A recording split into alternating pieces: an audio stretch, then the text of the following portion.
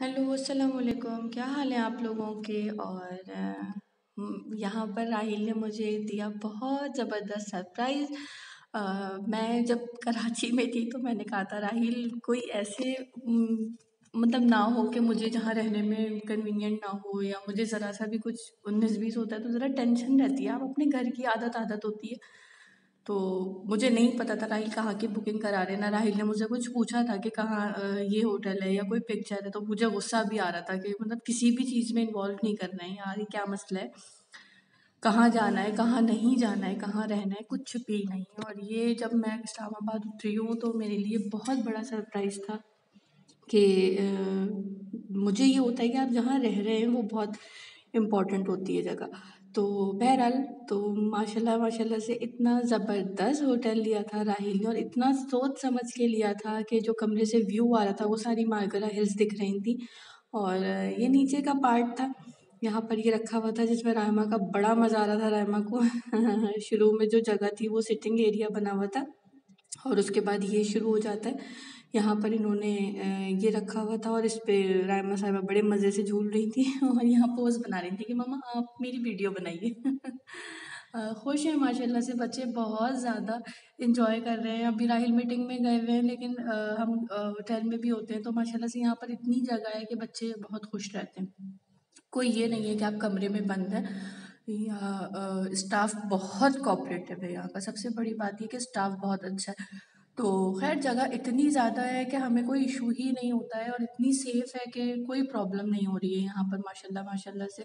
रायमा जैन जो है वो ऊपर, नीचे, खेल कूद, कहीं होवरबोर्ड चल रहा है, इन्होंने अपनी कुछ बच्चों के लिए भी चीज़ें रखी हुई हैं। तो और इतफाक़ से अभी ज़्यादा बच्चे भी नहीं थे इधर। तो रायमा के तो बहुत मज़े आए हैं। और यहाँ पर इनका जो है वो गार्डन ही थोड़ा सा बन रहा है अभी। कंप्लीट नहीं था, कुछ इन्होंने शायद रिनोवेट किया करने के लिए करा हुआ है तो वो चीज़ें लग रही हैं, लेकिन फिर भी बहुत प्यारा है। मुझे इतना अच्छा लगा, सुबह उठो यहाँ पर, बैठो तो इतना सुकून मिल रहा होता है आँखों को। इस होटल का बैक पड़ता है ये। तो ये बैक पे इन्होंने इतना गार्डन की बनाया हुआ है और फ्रंट पे इनका अलग है। वो छोटा है, वो इतना ज़्यादा बड़ा नहीं है लेकिन जो सिटिंग एरिया रखा हुआ है इन्होंने, ये बैग पर रखा हुआ है। और रायमा की खुशी की कोई इम्तिहान नहीं है, माशाल्लाह माशाल्लाह से बहुत खुश रायमा। तो बस इधर हम ये सब देख रहे थे, इतने प्यारे, माशाल्लाह से यहाँ पे गुलाब के फूल लगे हुए होते हैं और हर जगह रोडों पे, कहीं पर वाइट गुलाब है, पीला है पिंक है, कराची में हमें नहीं देखने को मिलता है। मैंने राहिल को ये कहा, मैंने कहा, यहाँ से मिट्टी ले चलेंगे थोड़ी सी। यहाँ की मिट्टी में फ़र्क है, लेकिन खैर वो पूरा इन्वायरमेंट होना चाहिए, उसका यहाँ पे बारिशें ज़्यादा होती हैं तो ग्रीनरी बेतहाशा है, माशाल्लाह से। मैं तो खैर ये पहले सब इतना देख चुकी थी कि मैं राहिल को कहती थी, राहिल, क्या मतलब सिर्फ़ खूबसूरती देखते हैं? साढ़े पाँच साल जब मैं रही हूँ, क्योंकि कोई भी नहीं होता था, ना अम्मी, ना अबू ना बहनें, कोई भी नहीं, ना ससुराल में से कोई था, ना मैके में से कोई था, और ये फ्रंट का, ये साइड का इनका है। तो ये तीनों तरफ़ से मतलब है, ये मेरा रूम है बाहर से और बहुत अच्छा। अगर किसी को भी आना हो इस्लामाबाद और कुछ भी हो तो वो मैं कमेंट सेक्शन में बताएँ। मैं ज़रूर शेयर करूँगी इसकी हर चीज़। ये एफ़ सेवन में है, जिना सुपर के एकदम सामने। और ये था रूम मतलब राहिल ने हर तरह से सोच समझ के चीज़ को वो किया था, बल्कि यहाँ पर भी आके दो रूम्स थे, राहिल ने मुझे बताया कि इसमें ठहरना है कि इसमें ठहरना है। तो मुझे अच्छा लगा कि भाई इतनी इम्पोर्टेंस आपका लाइफ पार्टनर आपको देता है तो बड़ी खुशी होती है। तो बस ऊपर नीचे चीज़ें होती हैं, लेकिन हस्बैंड वाइफ को आपस में एक दूसरे का ख्याल बहुत रखना चाहिए। उन्नीस बीस लड़ाई झगड़े, गुस्सा, किसी भी चीज़ पे आपका वो हो जाता है। ये हर मियाँ बीवी के बीच में होता है, लेकिन मेन बात ये होती है कि वो आपका कितना ख्याल रख रहा है। ये चीज़ें बड़ी मैटर करती हैं। तो मुझे बड़ा अच्छा लगा था कि हम इतना थक के आए थे उसके बावजूद भी जो पहला रूम देखा वो बहुत बेहतरीन था। मैंने कहा, बस सही है राहिल ये बिल्कुल सही। नहीं नहीं नहीं। तुम ये भी देख लो, दूसरा रूम भी देख लो।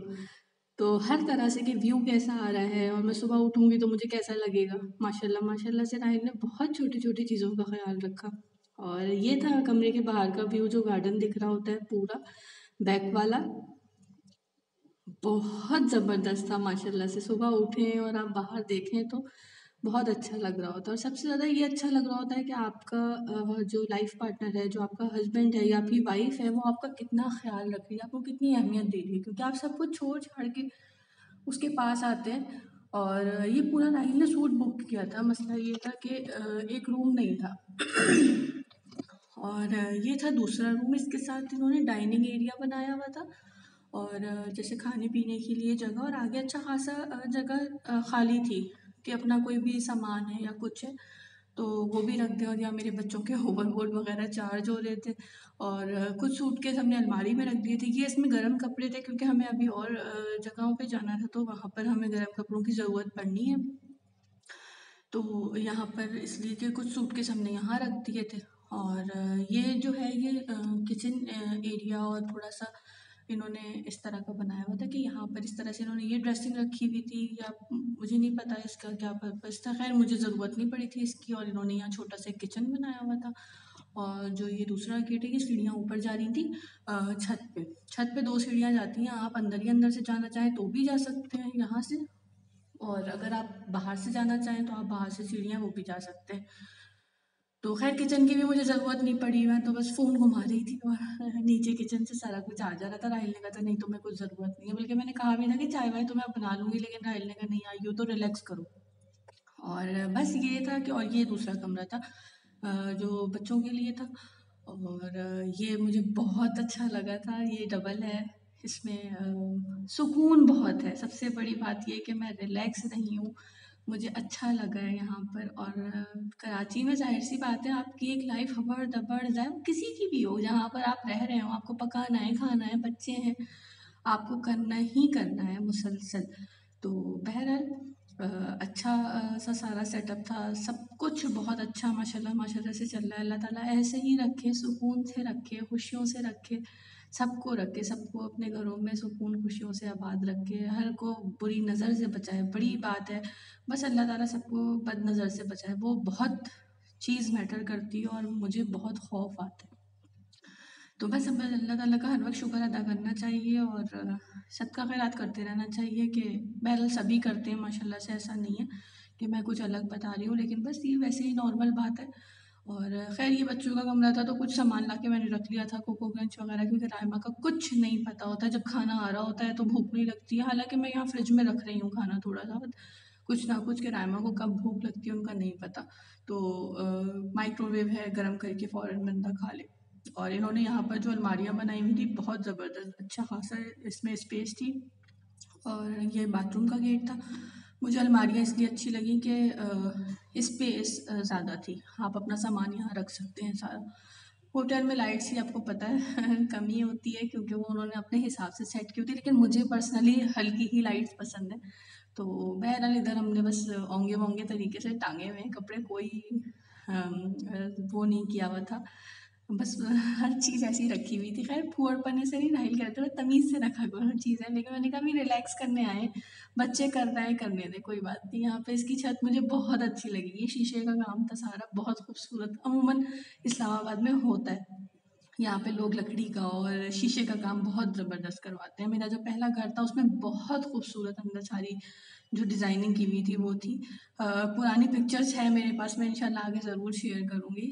तो अभी तो खैर मैंने कहा मैं ये सब शेयर करूँ मुझे इसको देख देख के अच्छा लगता है, माशाल्लाह से कि इतना ज़्यादा राहील ने केयर की है, हर चीज़ की।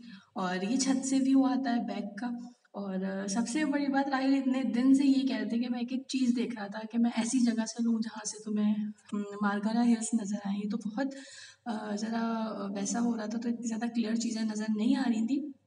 ये देखिए मारगरा हिल्स का पूरा व्यू यहाँ से आता है। अगर आप फ्रंट वाले कमरे से, सॉरी, अगर आप सामने देखेंगे तो फिर आपको असल अच्छा दूसरी बात ये कि इतनी बिल्डिंग्स बन रही हैं और इतना ज़्यादा ग्रीनरी है कि वो छत से भी व्यू छुप रहा था।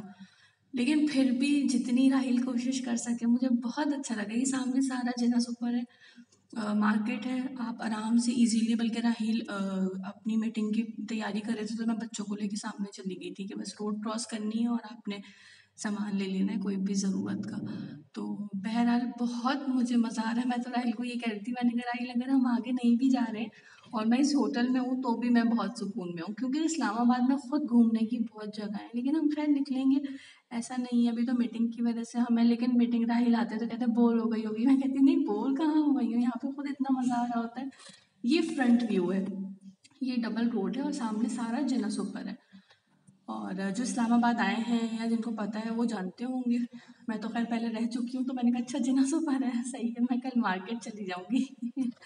और शॉपिंग करके आ जाऊँगी। ये सारा पीछे मारगला हिल्स है। तो बस इसको देख के इतना इंसान फ्रेश हो जाता है। इस्लामाबाद में तो खैर वैसे ही इतनी ग्रीनरी और इतनी बेहतरीन चीज़ें हैं और राहिल ने इस बात का ख्याल रखा कि ऐसी जगह लें एफ़ सेवन में हम हैं और एफ़ सेवन से जैसे जिन लोगों को पता होगा पता होगा कि हर चीज़ इतनी करीब है कि कोई मसला ही नहीं है। और बस हम खाना आ गया था, खाना खाया चलें इन आपसे अगले ब्लॉग में मुलाकात होगी। मुझे बताइएगा आप लोग क्या देखना चाहते हैं, मैं क्या चीज़ें शेयर करूँ, मुझे इतना नहीं अंदाज़ा है। जो मुझे समझ आता है या मुझे कोई कुछ पूछ लेता है कमेंट सेक्शन में या मुझे कुछ बताता है तो मैं करती हूँ। तो आप लोग भी ज़रूर शेयर कीजिएगा। मेरी वीडियो अच्छी लगे तो उसे लाइक करें शेयर करें, मेरे चैनल को सब्सक्राइब करें। इन आपसे अगले ब्लॉग में मुलाकात होगी। और हाँ यहाँ का खाना बहुत मज़े का था शेफ़ बहुत अच्छे और ज़रूर ज़रूर जिसको कभी आना हो तो ज़रूर यहाँ पर आए हयात पैलेस नाम है इनका। चलिए इन आपसे अगले ब्लॉग में मुलाकात होती है। अल्लाह हाफिज़।